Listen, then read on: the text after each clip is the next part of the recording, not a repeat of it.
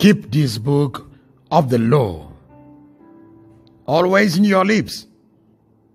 Meditate on it day and night so that you may be carefully to do everything right in it. Then you'll be successful and prosperous. This is the book of Joshua 1 verse 8.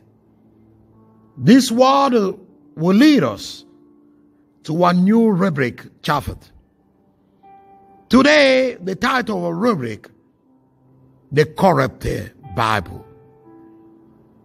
The question we need to ask is which book is Joshua talking about? It is the Bible of the Torah. You must know I'm not here to preach you what you always hear. I'm here to preach you what you never hear.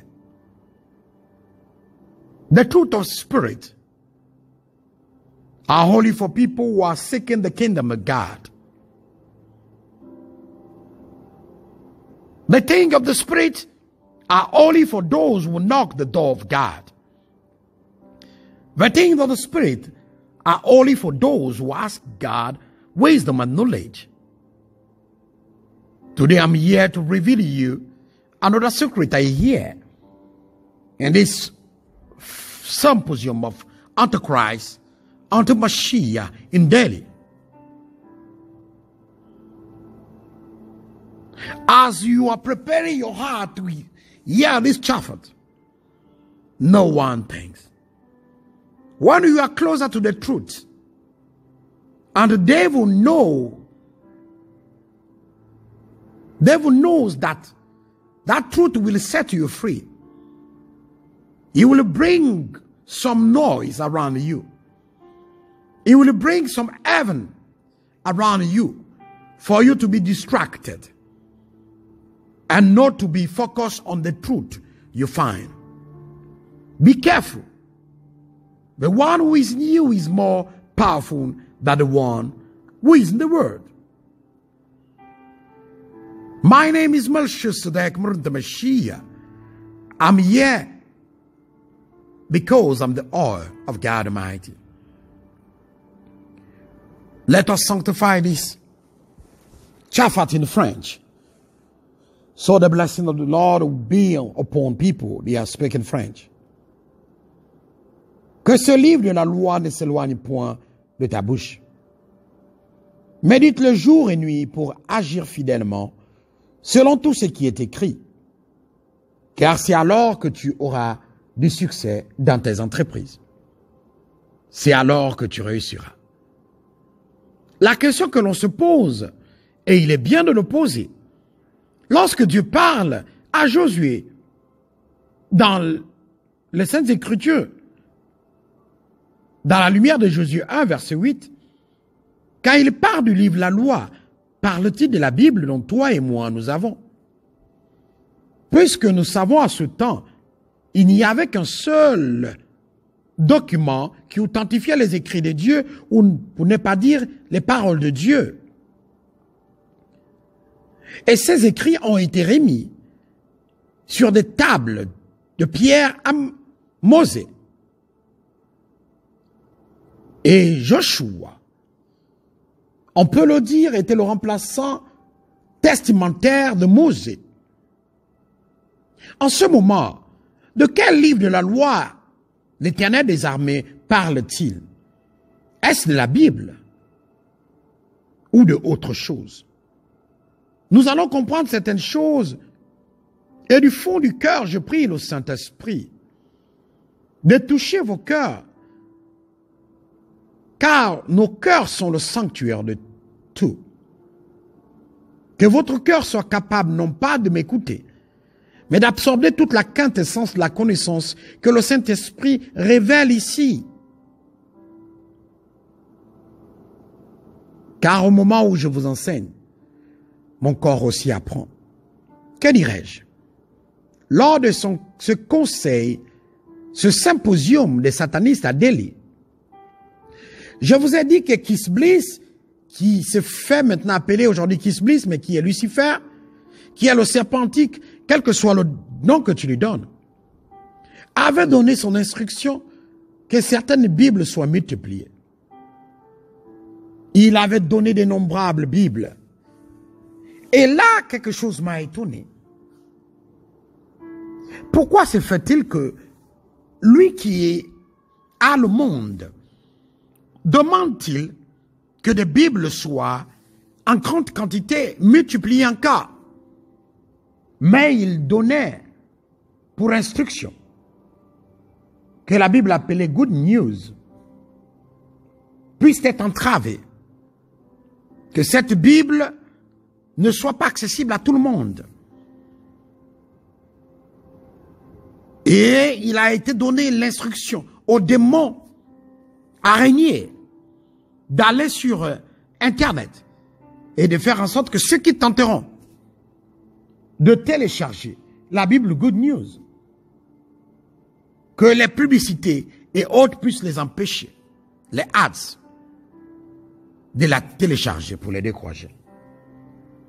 Après ce que j'ai entendu, moi-même j'ai fait l'expérience et je suis allé pour télécharger Good News. Je vous assure, j'ai vécu à la lettre cela parce que j'ai vu beaucoup de ads, beaucoup de publicités qui découragent l'homme en réalité de télécharger. Qu'est-ce que nous devons comprendre? Posons-nous d'abord cette question. Qui a amené la Bible en Afrique? Ce sont des missionnaires. Ces missionnaires étaient-ils des Noirs? Non. Quel était l'objectif des missionnaires en Afrique? Ils venaient pour explorer l'Afrique. Et lorsqu'ils sont arrivés, ils ont trouvé des résistances en Afrique. Alors il fallait les dompter par la religion. Pour cela, ils nous ont amené un livre appelé Bible. Vous allez comprendre à quel moment la Bible est corrompue. Mais comment se fait-il que celui qui vient pour te coloniser va te donner un livre qui lui permet, qui te permet d'ouvrir les yeux et en même temps d'être son patron, en même temps de prendre conscience de ton identité réelle? Nous sommes des idiots, nous les Africains. Parce que nous croyons tout ce qui vient d'eux. Mais ce qui vient de ton propre frère, tu rejetteras cela. La Bible a été corrompue dès le début, car ils étaient conscients que si toute la vérité était mise dans ce livre, avec des textes originaux, l'homme noir va se révolter. Et l'homme noir sera indépendant spirituellement. Et la force d'une nation vient de sa culture. N'ont-ils pas réuni nos ancêtres et demandé à nos ancêtres de brûler tout ce qu'ils avaient comme totem Mais avant, ils devaient d'abord montrer à ces blancs comment s'utiliser ces totems. C'est après avoir utilisé. Ils ne les brûlaient pas devant eux. Après, ils faisaient des tactiques. Ils prenaient ces totems et ils brûlaient autre chose. Allons dans le but même du sujet. Mais cet homme est-il devenu fou? De quoi il nous parle? Comment la Bible peut-elle corrompue? Je voudrais vous dire ici, la Bible est le seul, je dis bien le seul livre qui a été transcrit en plusieurs versions. Et ces versions se contredisent. La Bible qui avait de la valeur, c'est la Bible hébraïque qu'on appelle la Taka. Tanakh. C'est une Bible écrite en hébreu, à l'exception du livre de Daniel, d'Estras et de Jérémie, qui sont écrits en araméen.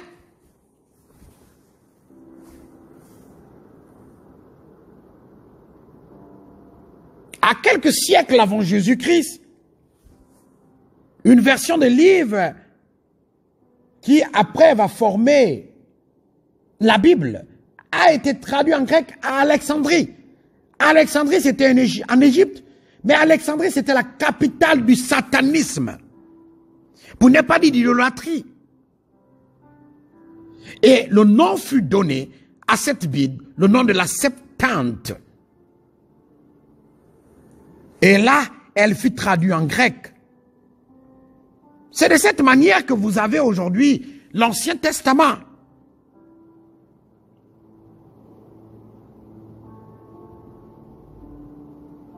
Israël ne croit qu'à sa seule et unique version, la version araméenne, le texte hébreu du Pentateuque.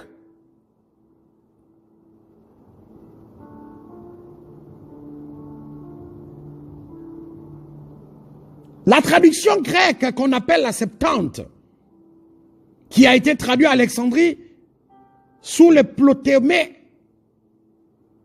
qui était une secte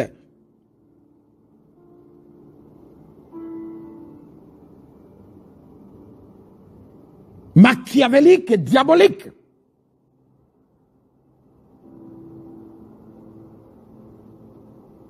Je vous posais une question. Croyez-vous véritablement que celui qui nous a amené la Bible va être honnête avec nous et nous donner ce qui est bon? Suivez bien. Suivez bien ce que je vais vous dire parce que c'est pas plaisant. Surtout pour ceux qui n'aiment pas la vérité. Sachez d'abord une chose. Sachez une seule chose. Qu'il y a une association qu'on appelle l'Alliance biblique universelle. En abrégé ABU. L'Alliance biblique universelle est composée de 148 sociétés bibliques nationales. Et l'Alliance biblique française fondé en 1818, fait partie de ces 148 sociétés. Les 148 sociétés, ce sont les sociétés qui, à travers le monde, produisent les Bibles. Et cette association, l'Alliance biblique universelle, a pour but, écoutez bien, a pour objectif de promouvoir la Bible dans un esprit d'ouverture, sans procès litisme ni parti pris doctrinal. Elle a été fondée en 1818 sans but lucratif.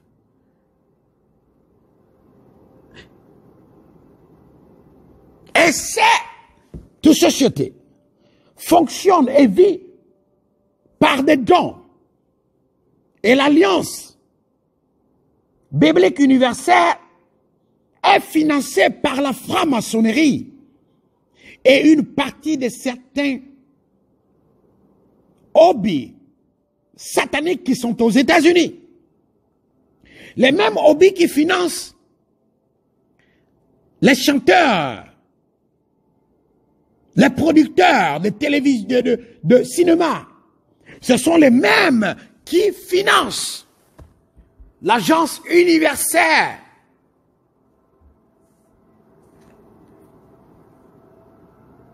Alliance biblique universelle.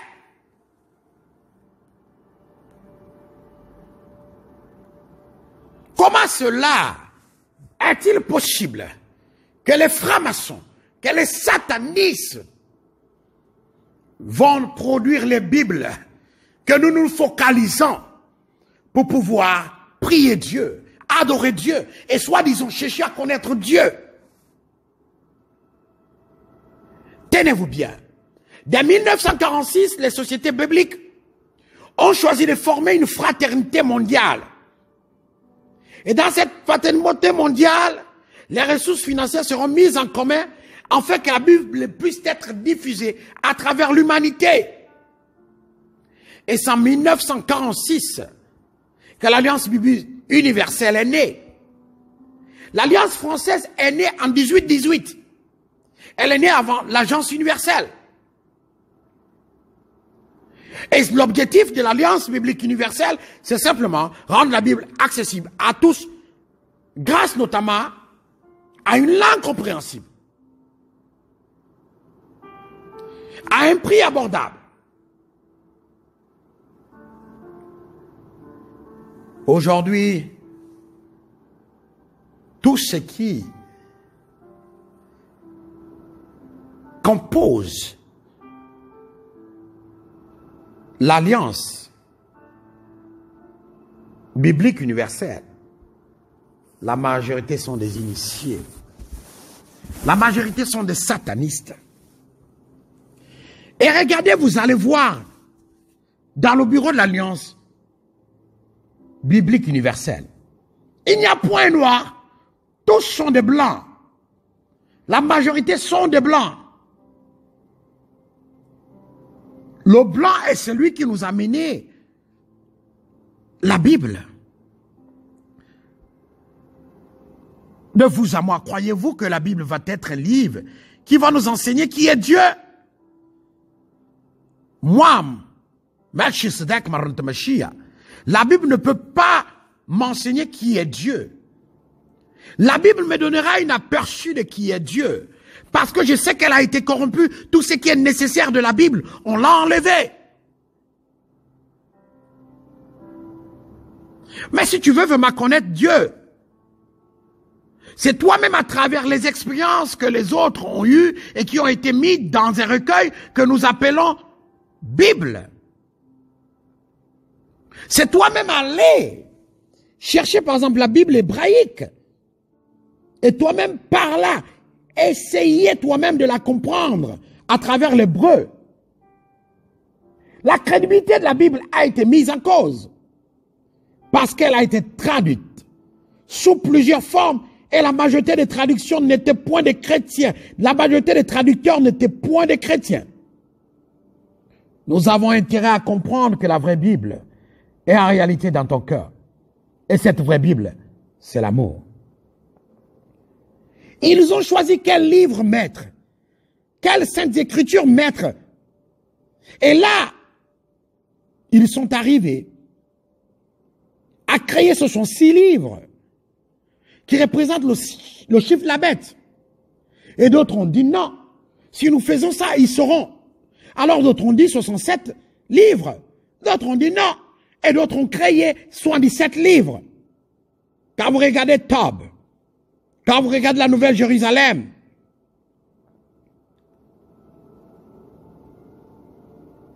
ils n'ont pas les mêmes. Les mêmes livres. Dans Tob, dans Tob, vous avez le livre de Tobie, qu'on ne retrouve pas dans la Bible initiale. Dans la Nouvelle Jérusalem, vous avez Maccabée 1, Maccabée 2, mais qu'on ne retrouve pas aussi dans les autres Bibles.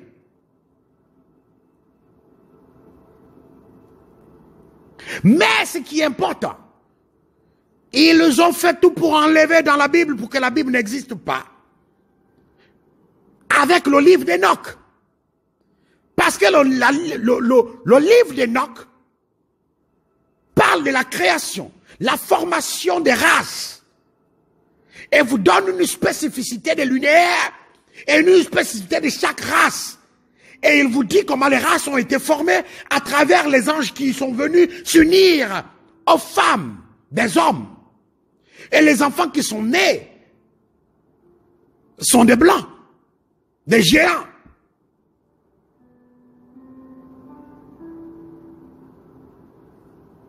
Les hommes à la trempe de De Gaulle. Ils ont pris le soin d'enlever où il y avait la vérité. Et ceux qui m'écoutent, s'ils sont catholiques, ils savent bien ce qui sont dans les secrets du catholicisme. Ils savent que le pape avait maudit toute personne qui lira le livre d'Enoch. Le livre d'Enoch situe les races. Le livre d'Enoch situe toutes les races du monde. Et c'est le livre d'Enoch qui dit que la race noire est la race élue puisque les Noirs sont les seuls qui ont des cheveux crépus.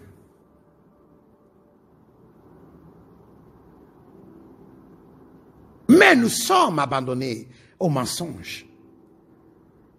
D'autres vont te dire, mais dans la Bible, c'est écrit Jésus-Christ. Mais qui a écrit cette Bible dont tu as? Ce sont des Blancs qui l'ont traduit. Ce sont des Blancs qui ont mis ça en recueil. Alors ils ont mis le, le nom de l'air maître. En Israël, tu n'entendras jamais parler de Jésus. Yeshua, c'est son nom. Tous les livres saints nous relatent la force de Dieu, la puissance de Dieu, mais plus important, l'amour de Dieu. Il y a des hommes et des femmes qui sont assis peinards au paradis. Non pas parce qu'ils ont été des vrais chrétiens, mais parce qu'ils ont répondu l'amour quand ils étaient sur la terre. Alors si tu crois qu'en lisant la Bible, tous les jours tu seras sauvé, tu te trompes mon frère, ma soeur. Mais si tu vis la Bible tous les jours, tu seras sauvé. Vivre la Bible, c'est centrer d'abord quelle est la quintessence et l'essence de Dieu. C'est l'amour. Aimer ton prochain comme toi-même. Aimer ton ennemi. Tu dois vivre la Bible tous les jours pour être sauvé. Non pas la lire et la mémoriser. Beaucoup aujourd'hui qui ont la Bible dans leur tête, ils sont zéro. Ils sont rien du tout. Allons en profondeur dans le secret de, de Dieu. L'homme de race blanche a trouvé qu'il fallait coloniser le blanc, le noir. Il fallait lui donner la capacité d'interpréter avec erreur son existence, de s'humilier devant le supérieur. Alors là, ils ont décidé de dire, Satan est noir. Mais pour la petite histoire, je vais vous dire une chose. Le petit nom que le diable appelle Yeshua Mashiach, c'est Jean Leblanc. Il n'aime pas les noirs, je vous le dis.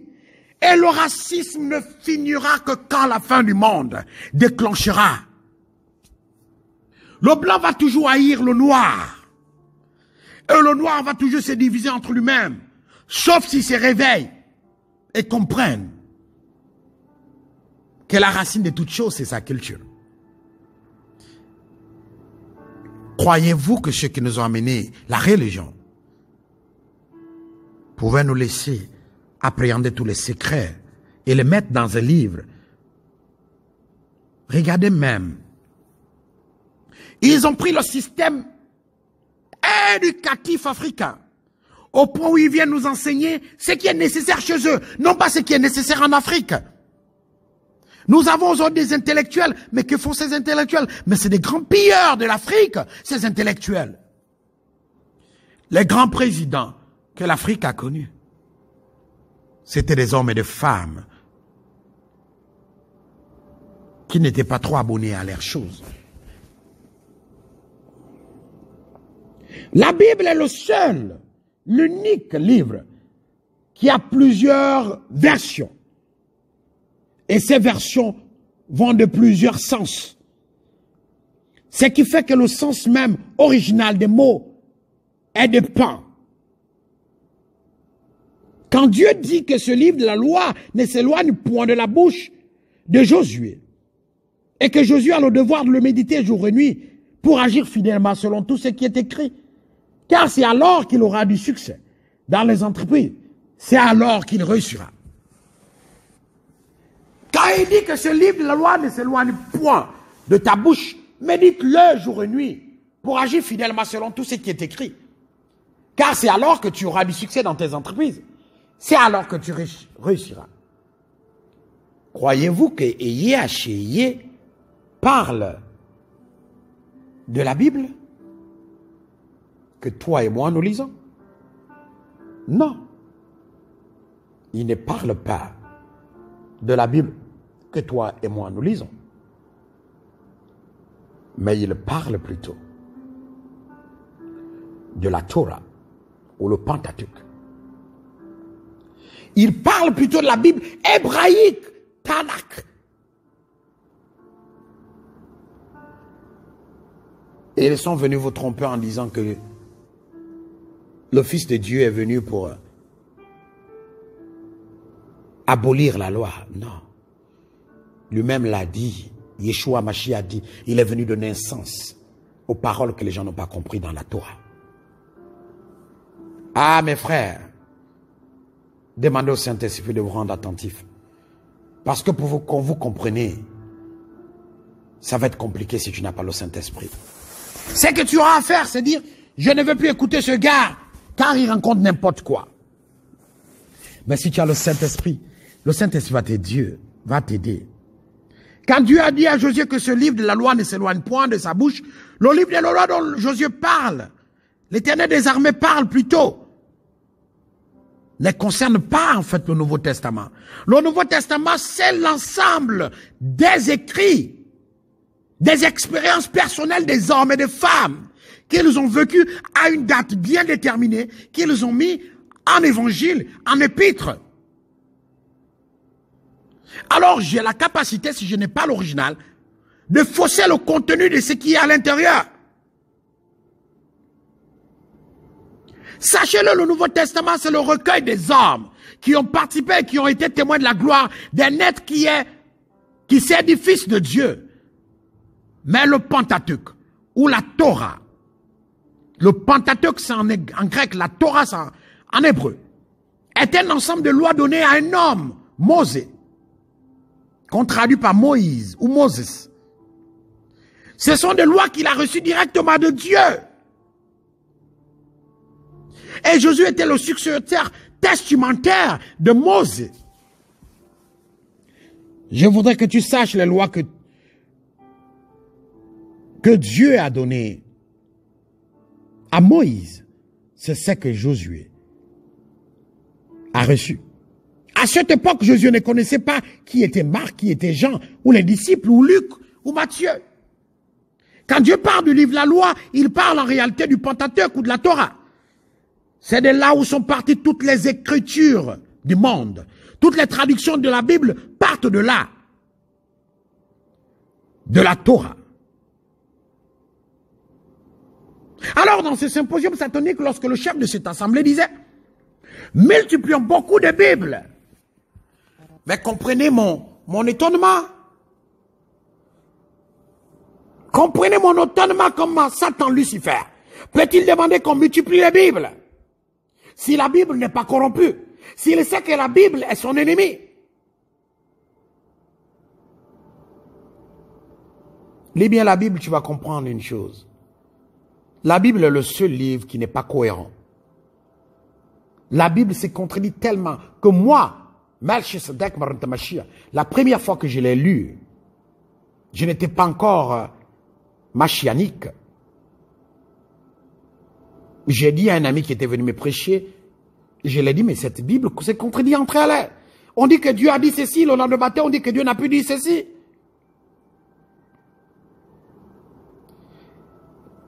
Comment Satan peut dire multiplier des Bibles? Une personne qui sait que ça fait proche, et qui sait qu'en réalité la Bible est un obstacle pour lui, il va demander de multiplier les Bibles. C'est qu'il sait qu'à l'intérieur de la Bible, il y a beaucoup de choses qui se contredisent.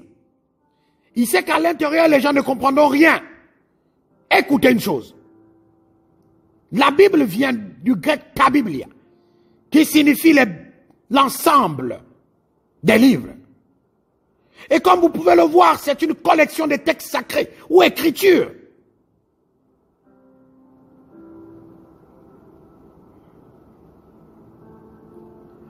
Et là-dedans, dans le Nouveau Testament, on peut dire c'est une inspiration qui a été donnée aux hommes et qui relate la relation entre Dieu et l'humanité. Mais le Pentateuque, c'est les lois lui-même que Dieu a données à mes propres, à son monde. La majorité des Bibles qui ont été écrites elles n'ont jamais été écrites par des chrétiens. Aujourd'hui, peut-être vous vous trompez, mais la Bible n'a point été écrite par des chrétiens. Je vous ai parlé de l'Alliance universelle, qui est financée par la franc-maçonnerie et par certains lobbies sataniques aux États-Unis. Comment les satanistes vont-ils financer les choses de Dieu? C'est ils savent que par ça, vous allez vous égarer.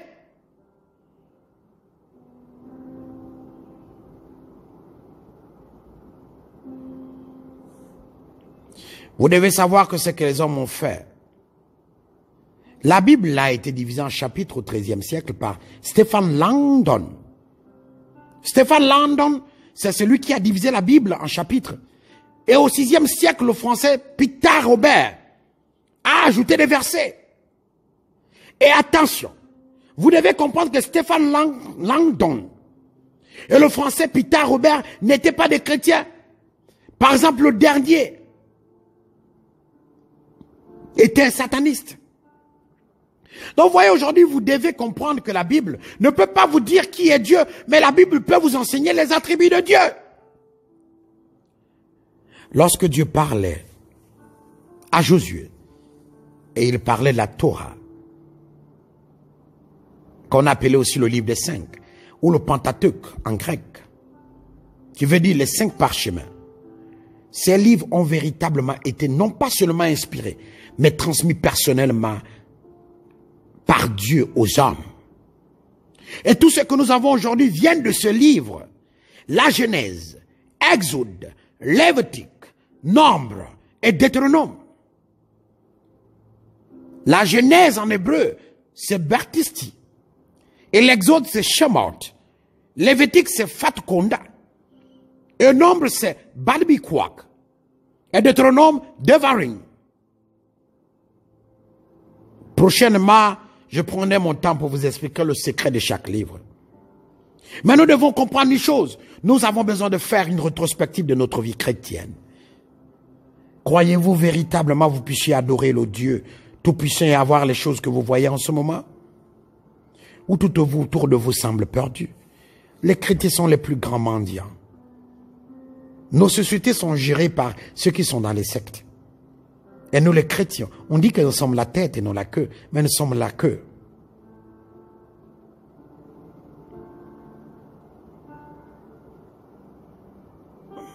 Quelque chose de mauvais quelque part. Écoute ma voix en ce moment. Il est temps que tu saches que ce que tu dois chercher dans la Bible, c'est l'amour.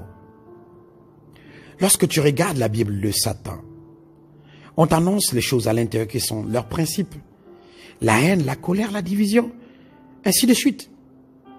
Mais la Bible que tu lis t'enseigne l'amour de Dieu, l'humilité de Dieu, la compassion de Dieu. Comment Satan peut-il demander d'aller multiplier les Bibles? S'il sait que ça, il sait que vous interprétez la Bible selon vos besoins. Les Blancs nous ont caché beaucoup de choses. La seule manière de rendre la Bible crédible, je te le dis, ce serait que les plus riches chrétiens se rassemblent et font leurs propres enquêtes à partir du Pentateuque en Israël et qu'ils financent des gens qui vont écrire la Bible, l'écriture originale, côté droit, et la traduction, côté gauche. Alors ceux qui voudront connaître la vérité pourront à partir des écrits originaux ou originaux s'intéresser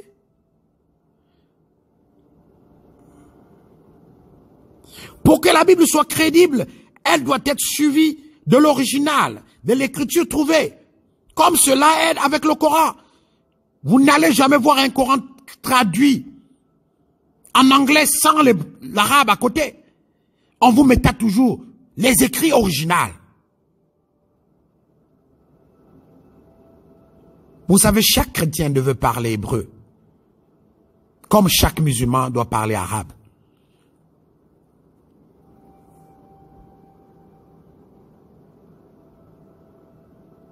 La Bible a été traduite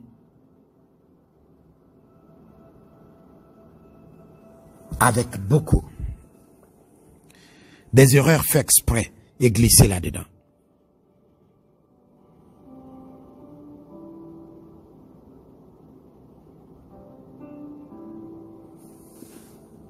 Il est temps que vous vous tournez vers l'original de toutes choses. Les chrétiens doivent chercher la Bible en hébreu. Et à partir de l'hébreu, ils comprendront le sens des mots. Vous savez, dans une partie du nord de l'Afrique de l'Ouest, on parle des solim. Mais lorsque la personne viendra te dire solim, en fait, il s'agit de l'amour. Mais de quel amour? Platonique ou charnel? Tu ne saurais point. Et quand on te parle, par exemple, de l'Afrique de l'Ouest, on te dit égal. On dit argent. Mais de quel argent s'agit-il? Seul celui qui parle connaît le vrai sens de ce qu'il dit. Vous devez comprendre que les 27 livres du Nouveau Testament ont été écrits en grec. Mais croyez-vous que Jean qui ne parlait pas grec, qui n'était pas instruit, a écrit le livre de Jean en grec? Vu que c'est l'hébreu qu'il parlait, ou Marc, ou Matthieu. Le seul qui parlait le grec, c'était Paul. Et Luc, qui était docteur. Mais l'évangile de Marc, l'évangile de Jean, l'évangile de Matthieu, mais c'est en grec qu'on l'a traduit. C'est en grec qu'on a trouvé les débris.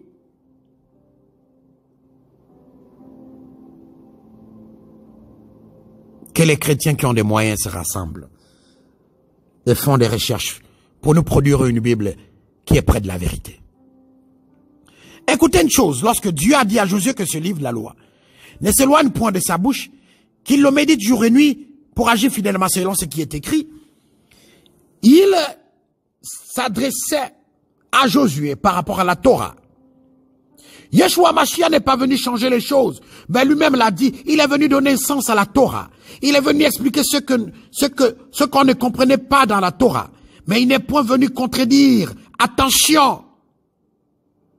Laissez-moi ce qu'on vous enseigne dans l'école de théologie. Les écoles de théologie, c'est des écoles du diable. Car seul le Saint-Esprit est notre enseignant. Je ne suis allé point dans une école de théologie. Mais je démonte la Bible verset par verset. Parce que le Saint-Esprit qui est en moi me donne cette capacité. Jean était illettré. Il n'est allé dans aucune école. Le seul qui était lettré, c'était Paul. Pierre était illettré. Si nous voulons véritablement continuer à utiliser cette Bible, faisons de la Bible un livre d'amour, non pas un livre d'interprétation. Chacun interprète sa Bible à sa manière. Mais si la loi d'un pays est interprétée longtemps dans l'erreur, le pays vivra dans le désordre. Et c'est le cas en Afrique, vous voyez, les constitutions sont interprétées erronément et on vit dans le désordre. Si la Bible aussi est mal interprétée, alors nos, raisonnements, nos raisonnements seront mauvais. Et aujourd'hui, nous vivons dans le désordre. Des gens vont dire, le gospel de prospérité, c'est dans la Bible. Beaucoup d'insanité. Personnellement, après avoir entendu ces gens demander de multiplier les Bibles, parce qu'effectivement, lorsque nous lisons la Bible, good news, elle est plus claire, elle est plus explicite. Il y a même des mots dans la Bible que vous comprenez mieux. Maintenant, allez-y sur Good News Bible. Vous verrez que quand vous la lisez, vous avez la paix du cœur. Vous comprenez mieux ce qui est écrit, même si elle n'est pas complète. Le blanc nous prend pour des idiots. Ils ne nous ont pas donné quelque chose pour nous élever, croyez-moi. Si vous ne vous élevez pas vous-même pour chercher la vraie identité de Christ, la vieille identité d'Amashia, nous serons tous perdus et l'enfer est notre maison. Yeshua Mashiach veut que nous puissions connaître sa véritable identité. Il n'a jamais été blanc comme on, on, le dit. Parce que lorsque vous regardez dans les phrases qui ont été retrouvées, on dit qu'il avait des cheveux crepus et qu'il était malte. Malte ne veut pas dire qu'il était blanc. Pourquoi le diable déteste-t-il les noirs? Parce que son ennemi le plus sûr, son soi-disant qui a pris sa place, ce n'est pas un blanc. Le blanc a pris cette image et a fait que Yeshua Mashiach est blanc et le diable est noir. Alors tout ce qui est mauvais vient du noir. Et cette idée il nous a aidé à la développer. Car aujourd'hui, l'homme le plus cruel, le plus méchant, le plus hypocrite, le plus bête, c'est le noir. Il a bien fait ces choses. On a mis le diable en noir pour qu'on dise que c'est nous les mauvais. Et Jésus, que vous appelez Jésus là, il est en blanc. C'est lui le blanc. Et ils nous ont aidés à développer ce, ce côté machiavélique. Hein? Car aujourd'hui, l'homme le plus cruel, le plus méchant, le plus hypocrite, c'est le noir. On ne s'aime pas, mais les blancs s'aiment entre eux. La France viendra en aide à l'Angleterre, si c'est que l'Angleterre est en danger. Mais regardez vous-même. Combien de pays viennent en aide au Nigeria qui fait face au terrorisme? Mais vous allez voir ces présidents. La dernière fois, j'ai vu le président du Congo s'engager à aller donner des milliards au Japon. Alors que des gens souffrent dans son propre pays. La RDC que vous voyez là peut nourrir 63% de l'Afrique. Et le Gabon en lui seul peut, peut, peut, nourrir l'Afrique. 23%. Et le petit, le petit Guinée équatoriale peut à hauteur de 17% nourrir l'Afrique. Mais ceux qui ont plus d'argent, d'abord, leurs propres citoyens n'en profitent pas. Et ce qui est encore plus grave, les Blancs viennent nous voler.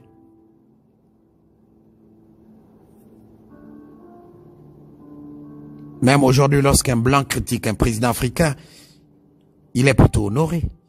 Mais si un Noir critique un autre président africain, c'est la prison. C'est ce que nous vivons aujourd'hui. Le chrétien aujourd'hui à la vindicte. Lorsqu'un pasteur fait une erreur, il va y coucher avec une femme parce que c'est un être humain. Mais on le criera dessus. Mais quand un imam va coucher avec les femmes ailleurs, on ne dira pas que c'est un scandale. Mais quand un pasteur va coucher avec une femme ailleurs, on dit que c'est un scandale. L'ennemi a maintenant trouvé un terrain où il peut agir sans être puni.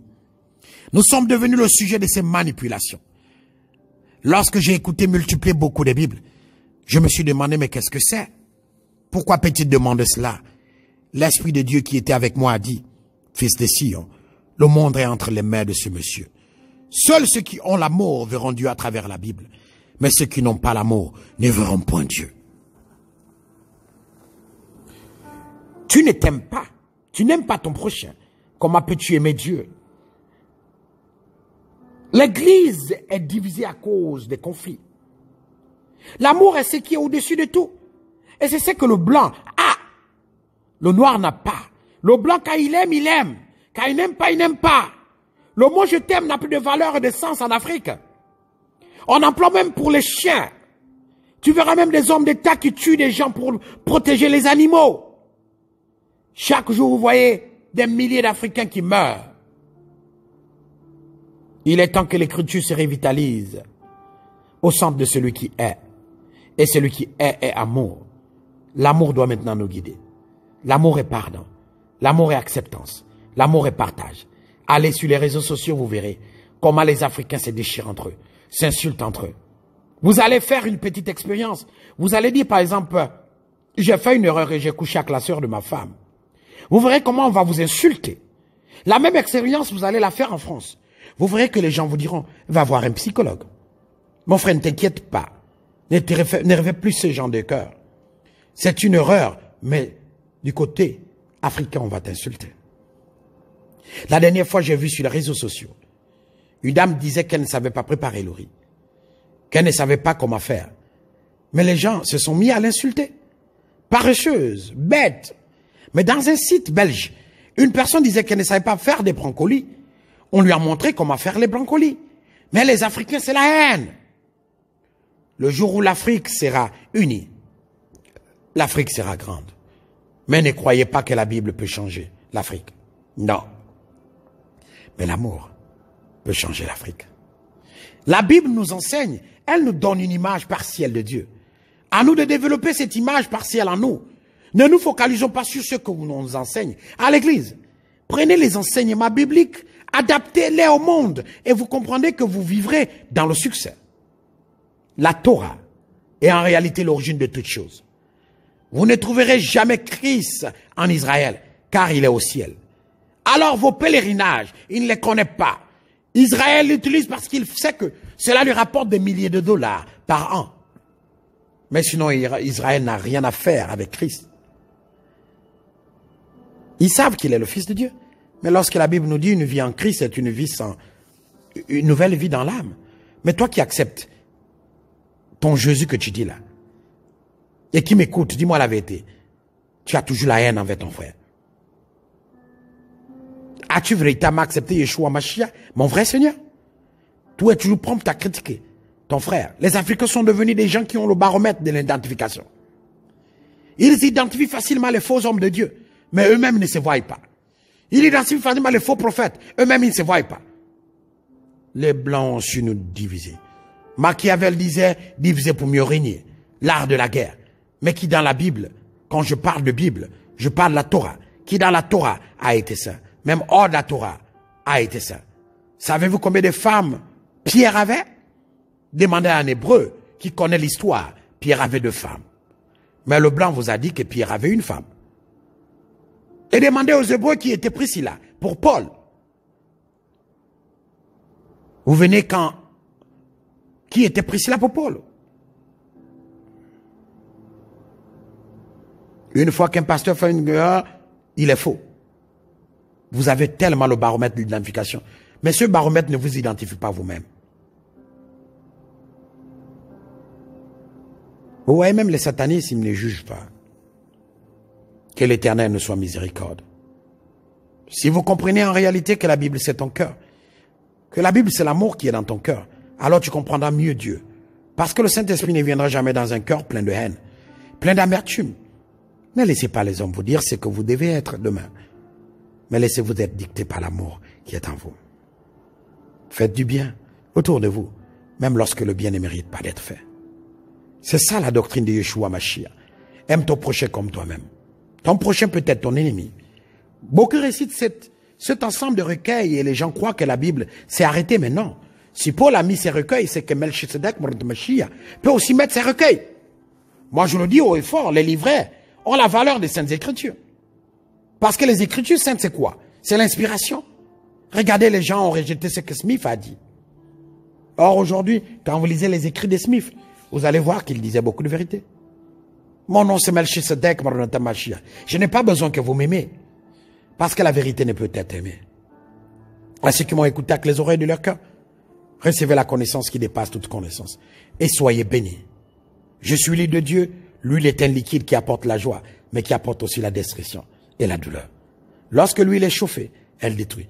Mais lorsqu'elle n'est pas chauffée, elle apporte la joie. Léolam, Amen.